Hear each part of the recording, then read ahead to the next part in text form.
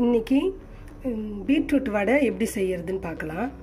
அதுக்கு கடலைப்பருப்பு ஒரு கப்பு துவரம்பருப்பு ஒரு கப்பு வரமிளகாய் ஒரு அஞ்சு பீட்ரூட் ஒரு கப்பு திருவி வச்சுருக்கிறது வெங்காயம் ஒரு கப்பு கொத்தமல்லி கருவேப்பிலை சோம்பு அதுக்கப்புறம் உப்பு. இந்த கடலைப்பருப்பு இந்த ஒரு கப்புன்றது இது நூறு நூறு கிராம் கொள்ளளவு உள்ளது தான் இது இந்த ஒரு சின்ன இந்த ஒரு கிளாஸில் ஆஃப் தான் போட்டிருக்கேன் நான். இந்த ஒரு கிளாஸில். இந்த கடலைப்பருப்பு. இது சின்ன கப்பு. இப்போ கடலைப்பருப்பும் துவரம் பருப்பு வரமிளகா கூட சேர்த்து ஊற வச்சுருக்கேன். ஒரு அரை மணி நேரம் ஊறினா போதும். அப்போ தான் நம்ம குறை குறைப்பாக அரைச்சி எடுக்கணும். இது கூட சோம்பு எடுத்து வச்சிருக்கல ஒரு டேபிள் ஸ்பூன். இதையும் கூட சேர்த்து அரைச்சிடலாம் இப்போ மிக்சியில் போட்டு அரைச்சி எடுத்துக்கலாம். கடலைப்பருப்பு துவரம் பருப்பு சோம்பு வரமிளகா. மிக்சியில் போட்டு அரைச்சி வச்சுருக்கோம்.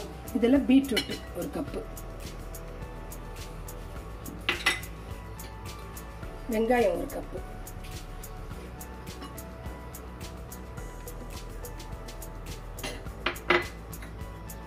கருவேப்பிலை கருவேப்பிலை கொத்தமல்லி. அது ஒரு கப்பு இதுலேயே உப்பு போட்டு அரைச்சாச்சு. இப்போ இதெல்லாம் ஒன்றா மிக்ஸ் பண்ணணும். மிக்ஸ் பண்ணும்போது கொஞ்சம் தண்ணி விடுற மாதிரி இருந்ததுன்னா இந்த இந்த அரிசி மாவு அரை கப்பு வச்சுருக்கிறோம்ல நம்ம எவ்வளோ அரிசி மாவு வேணுமோ இதை நம்ம கொஞ்சம் கொஞ்சமாக ஆட் பண்ணிக்கலாம். ஏன்னா இந்த பீட்ரூட்லேருந்து தண்ணி வரும் கொஞ்சம். அதனால் இதில் போட்டு நல்லா மிக்ஸ் பண்ணும்போது அரிசி மாவு கொஞ்சம் ஆட் பண்ணிக்கலாம்.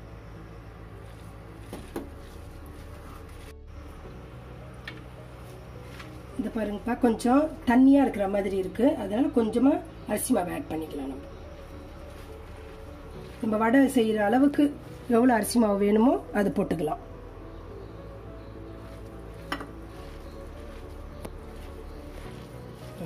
கொஞ்சம் இன்னும் கொஞ்சம்.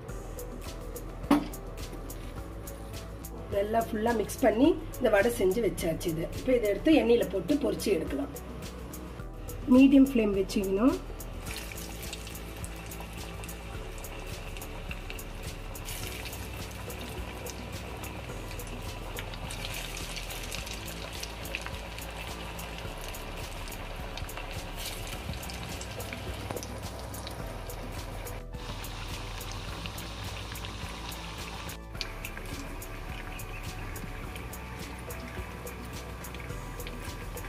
இது மீடியம் ஃப்ளேமில் தான் வச்சு செய்யணும்.